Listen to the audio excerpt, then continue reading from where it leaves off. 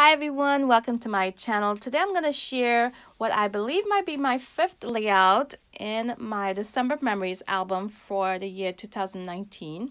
And if you have not seen the previous layouts, I'll go ahead and link the playlist for all of my December Memories layouts that I've done so far down in the description box along with the links to all of the items that I used today as well on this layout. So I am going to be working in the Cocoa Daisy Traveler's Notebook insert here. And I'm mixing in, of course, my Cocoa Vanilla items that go really well with the Cocoa Daisy collection. I'm also going to pull in some items from Close to My Heart. Now, I chose this background because it went pretty well with my photo. If I am working in an insert that already have pattern paper as the pages, I do not add my layouts chronologically. I just add it to whatever background works best with the photo.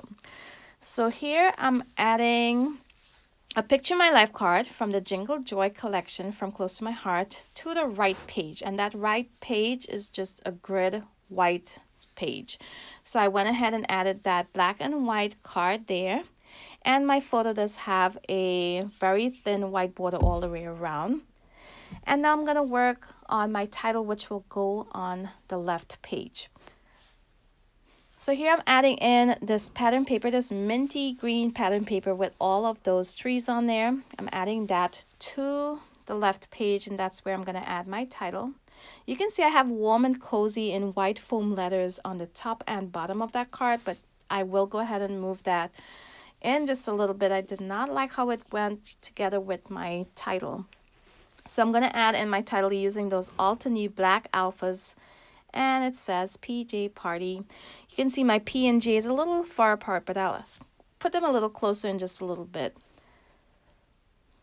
So once I added in my title, I'm going to work on my embellishments. Now I brought in some pieces from Elle's Studio from 2019. I also added in some word phrases from Cocoa Vanilla and also some chipboard pieces from Cocoa Daisy. And you will see here I move things around quite a bit until I got the look that I was going for. And once I do, I'll use my liquid adhesive to adhere all of these pieces to my layout. Now, once I'm adding in my chipboard, I always try to remove the back of the chipboard that way I can reduce the amount of, the amount of bulk that's going to be in this insert because these insert I want to make sure they stay as thin as possible so they can close and that my binding won't come apart. So I'm going to use my art glitter glue there, adhere my chipboard pieces, and I made a little banner using the same pattern paper I used on the left page. I'm going to add that as well below my photo. I added a little semicircle tab that says highlight of the week. I also pulled in some hearts from Elle's Studio in green and blue. And here I'm using some of these glittery dots from Cocoa Daisy.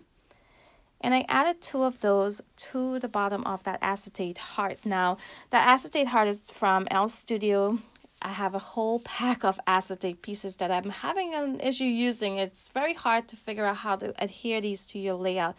I normally use maybe some staples or try to hide my adhesive behind something that I might add on top of that acetate piece. But in this case, the acetate is just going to sit on my title card there.